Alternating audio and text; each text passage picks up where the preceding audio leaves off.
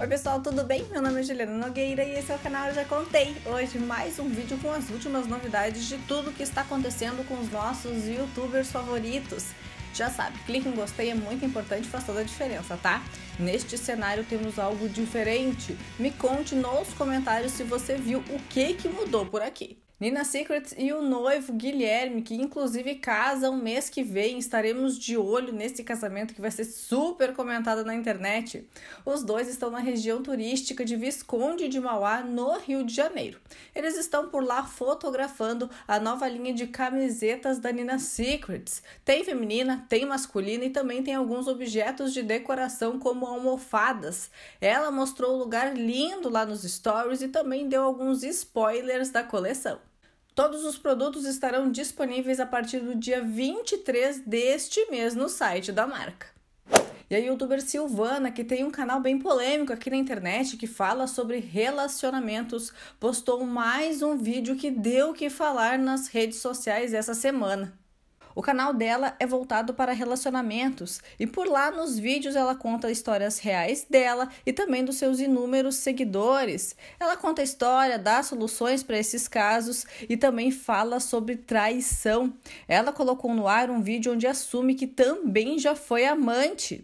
O vídeo pegou muitas seguidoras de surpresa, porque ela sempre fala por lá que é contra a traição e está dando o que falar.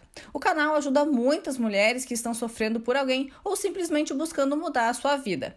Ela usa a própria história como exemplo, porque ela tem uma história incrível de superação, porque passou por um longo tratamento contra o câncer.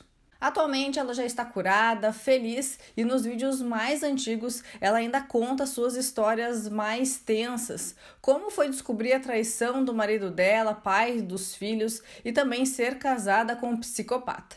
As mulheres e também teve o ponto de que ele não ia me descartar se ele não tivesse encontrado uma nova vítima e ele tinha a nova vítima. Hoje, a Silvana tem 43 anos, passou por três casamentos e está super feliz sozinha. E ela garante que tem a independência financeira e também emocional. É super legal conhecer a história dela. Eu sei que algumas de vocês já conhecem e o link para conferir tudo isso vai estar tá aqui na descrição.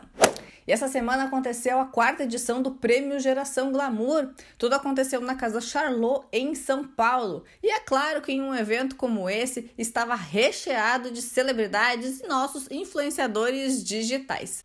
A Eudora estava presente nesse evento como uma das patrocinadoras e também foi responsável pela produção de algumas influenciadoras digitais.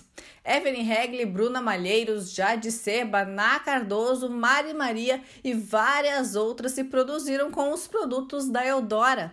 Além disso, os cabelos foram feitos em um dos salões mais chiques de São Paulo, o Marcos Proença. A Nina também estava por lá com um look incrível de Fabiana Milazzo. O stylist ficou por conta de Adornelas. Já de Seba estava com o vestido da Fabiana Milazzo. Na Cardoso também estava com um look que fez muito sucesso. Bruna Malheiros estava estonteante e Evelyn Regli apostou no carão e num clássico preto. Destaque para Giovanna Elbank, que ganhou o prêmio de melhor youtuber do ano.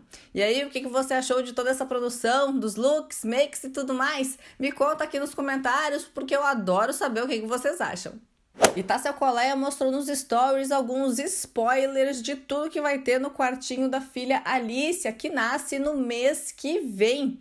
Ela mostrou ali um pouco várias estampas, muito colorido e brincou dizendo que a decoração vai ser bem clean.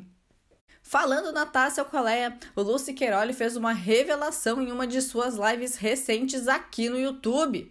Ele contou tudo sem meias palavras e foi direto ao ponto. Um seguidor questionou se ele e a Tassi ainda eram amigos. E ele falou que não, que eles não têm mais a amizade que tinham antes ele, a Nina e a Fabi continuam super amigos. Ele falou que se considera irmão das meninas, vai ser inclusive padrinho do casamento da Nina, mas que com a Tassi é bem diferente. Que ele e ela, quando se veem nos eventos, se cumprimentam, conversam. Ele viu ela grávida recentemente, falou que ela estava muito linda, torce pelo sucesso dela, mas ele disse que eles não são mais amigos como eram antes, que a amizade que tinha não existe mais. Falou inclusive que ele nem sequer tem o telefone da Tássia Alcolea. Bom, pessoal, essas foram as últimas novidades do dia. Já sabe que quem gostou é super importante, tá? Eu te espero no Instagram, segue por lá, arroba Junogueira Oficial. Até mais!